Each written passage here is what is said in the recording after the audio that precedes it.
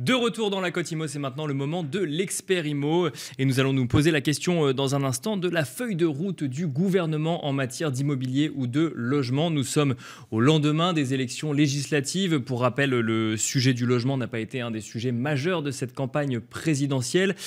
Le fait de ne pas avoir vu durant les mois qui ont conduit jusqu'aux législatives de ministres du logement euh, nommés avec un tel, une telle fonction a pu faire euh, hérisser les poils d'un certain nombre de euh, personnes dans le secteur de l'immobilier. Et pour en parler, nous avons Sylvain le plaisir de recevoir sur le plateau de la Côte Imo Henri Buzy-Cazot. Bonjour Henri Buzy-Cazot. Bonjour.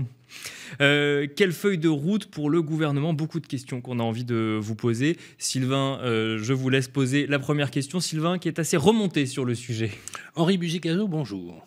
Bonjour Sylvain. Voilà, on se connaît bien, vous et moi. Vous êtes le créateur du think tank de, de l'immobilier, le Cercle des managers de l'immobilier. D'ailleurs, on va faire un prochain webinaire de fin d'année euh, pour euh, justement euh, les influences d'ordre politique. Vous êtes président fondateur de l'INSI, l'Institut de management des services immobiliers, qui est une école réputée en France. Vous êtes membre du Conseil national de l'habitat également, et vous êtes aussi éditorialiste dans plusieurs journaux, Capital, BFM.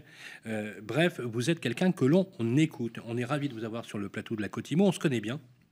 Et effectivement, on va être en, mode, j'allais dire en mode combat ou en mode euh, interpellant quelque part, puisque on rappelle aujourd'hui qu'il y a 12 millions de Français mal logés, 2 millions et, 2 millions et demi sur des listes euh, de logements sociaux avec dans un état de précarité assez avancé. Nous avons une offre qui ne cesse de décroître et une demande qui explose et une démographie absolument phénoménale. Si je compare sur les 40 dernières années, c'est 15 millions d'habitants euh, supplémentaires. La question euh, du question, alors peut-être pas du ministère du logement, mais la question du logement, reste toujours en suspens. On voit un peu se dessiner le cadre politique actuel sous tension, c'est très clair. Euh, première question que je vous pose est-ce qu'il y a un marqueur de l'exécutif actuel à vouloir, je ne sais pas, peut-être sacrifier la politique de- du logement ou de dédaigner finalement ce qu'apporte aujourd'hui cette verticale immobilière de la construction dans notre pays? On a du mal à croire avec, avec autant d'intelligence on puisse avoir une politique aussi délétère. Sinon, on arrivera à loger les Français correctement. Oui, je crois deux choses, Sylvain. Euh, D'abord, il y a une, cécité ou une surdité euh, de l'exécutif euh, actuel. Il ressemble beaucoup au précédent. hein.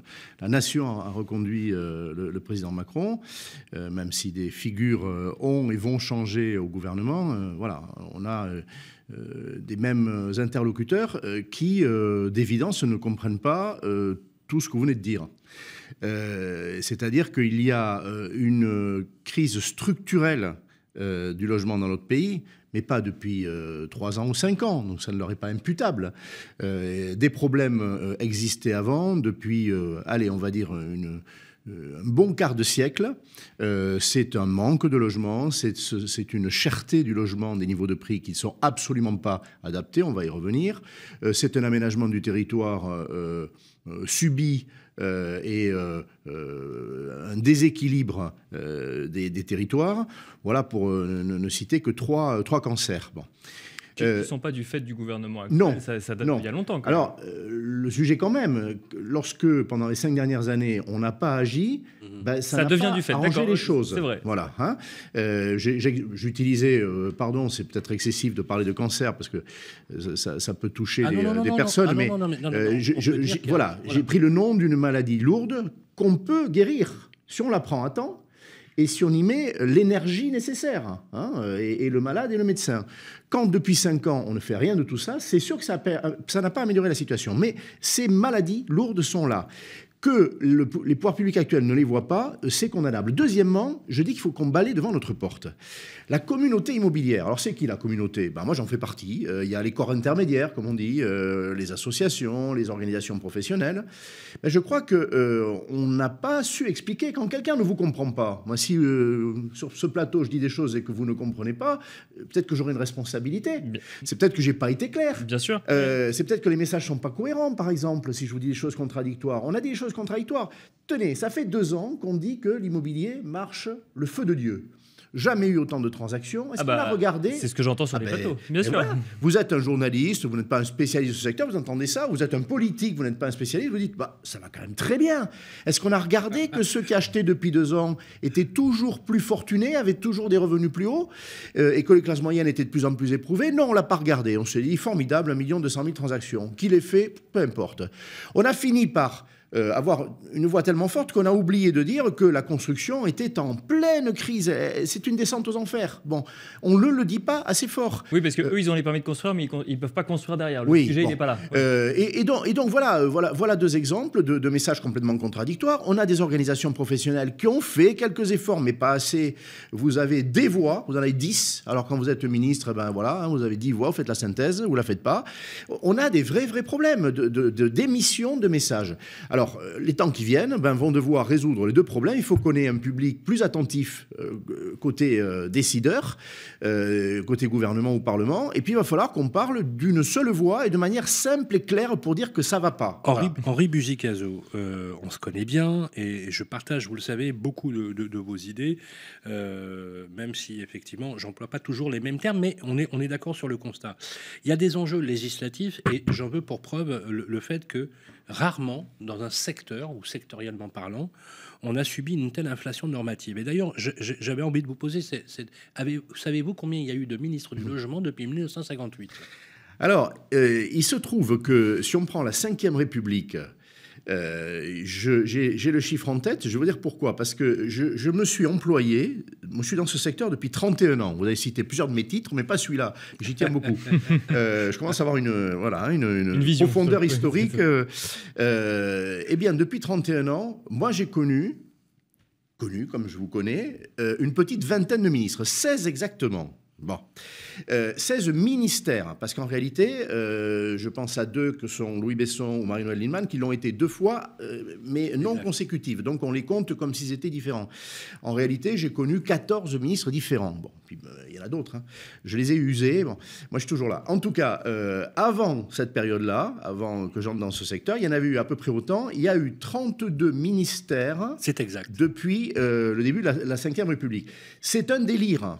C'est un délire, et notamment l'histoire avec autant de lois apposées, euh, pardonnez-moi, mais Oui. autant de lois apposées sur une loi, avec quelques grands ministres, et j'aimerais qu'on Oui. les cite et Oui. qu'on leur rende grâce.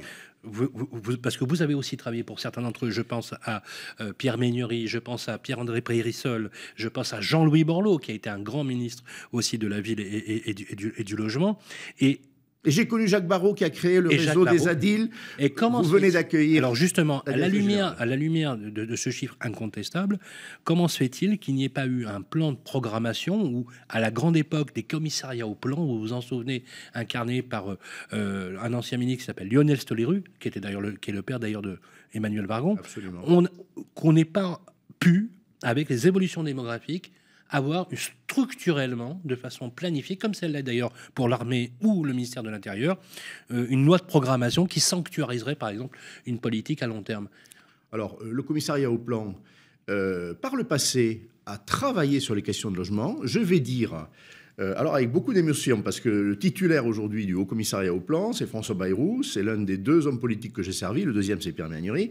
Euh, eh bien, moi, je n'ai pas vu le plan ces dernières années euh, produire cette feuille de route de long terme, car l'immobilier, c'est du long terme.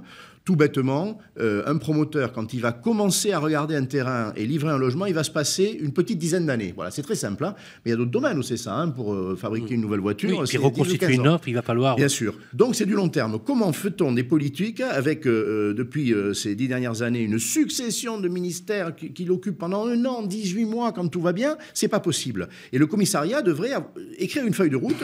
On ne sait pas, Sylvain, dans ce pays aujourd'hui, de combien de logements on a besoin dans les 10 ans à venir, ni Incroyable. où on en a besoin. On n'a pas un outil. C'est c'est le café du commerce. On dit 500 000 logements. On sait que c'est à peu près ça. Mais c'est peut-être 480, c'est peut-être 530. Et puis à quels endroits?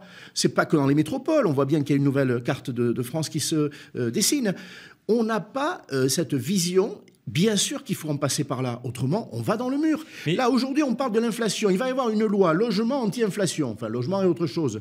Mais c'est du très court terme. C'est pour régler les problèmes des 2-3 ans qui viennent, ça. Et non pas les problèmes structurels. Mais alors, une question pour terminer. Euh, moi, une question que j'ai quand même souvent quand j'entends parler de logement, c'est est-ce que le logement peut être traité en dehors des transports, justement dans les, via les transformations qu'on voit actuellement de gens qui veulent euh, déménager de grandes villes ou autres. Est-ce que ce pas des sujets qui doivent être traités ensemble? Vous avez tellement raison, euh, et c'est encore un hommage que je rends à Pierre Ménury, donc ministre entre 86 et 89.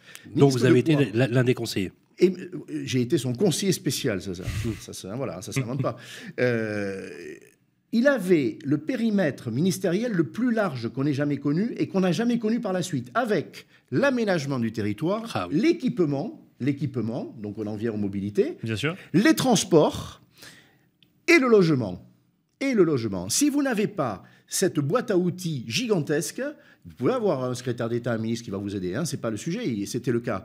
Mais cette vision d'ensemble, on parle d'aménager le territoire avec tout ce qu'il y a à l'intérieur, faire venir les entreprises, les infrastructures, etc. Voilà, si on ne fait pas ça, si on ne traite que le logement avec euh, les problèmes très euh, euh, circonstanciels du logement, ça ne marchera pas.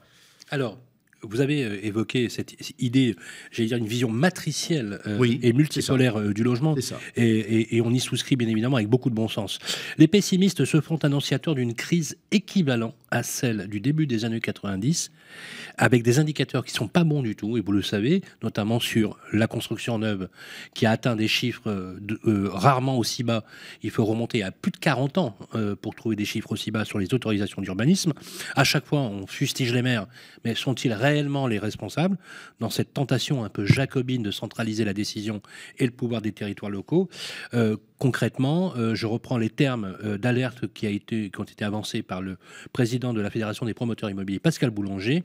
Nous ne sommes pas loin d'une crise sociale peut-être verra-t-on les gilets jaunes du logement. Non, mais il a raison. Je, je, vais vous donner deux autres citations, deux anciens ministres du logement. Pierre Méhaignery dit Nous nous préparons à la crise sociale de demain. Il disait ça il y a un an. Emmanuel Cos, dans les mêmes termes, il ne s'était pas concerté. Bon, Évidemment, c'est le cas. C'est épouvantablement triste. Je vais même vous dire une chose. Emmanuel euh, Vargon vient d'être battu sèchement en législative. Bon, sorti au premier tour. Moi, je vous dis que ce qu'elle a payé, c'est pas de n'avoir pas fait le travail euh, dans sa circonscription. Je ne le sais pas, mais j'ai pas de doute. C'est, je pense, qu'elle a payé aussi que son ministère et le précédent n'ont pas réglé les problèmes. La ministre en charge du logement, aujourd'hui, elle est porteuse elle incarne un échec lourd. Et bien sûr que ce sont des problèmes sociaux qui se profilent. Les classes moyennes, oui, vont, vont remettre un gilet, je ne sais pas avec quelles conséquences, je ne sais pas de quelle couleur, mais c'est une évidence. Et on finira là-dessus, Henri Buzicazo. Merci beaucoup d'être passé par le plateau de, la Côte Imo euh, pour échanger donc avec Sylvain Valency et moi-même. Et Sylvain, c'est la fin de cette émission du jeudi, donc cette émission dédiée. Lévi Valency. Sylvain. je vous taquine, Nicolas. Bien évidemment, on va se retrouver euh, demain, comme tous les vendredis, on se retrouve pour parler euh, de cité, d'urbanité, de patrimoine et d'architecture. Ça sera la séquence un peu plus agréable, peut-être parfois, par rapport l'aspect politique. En tout cas, on est heureux de vous retrouver demain. Salut Henri.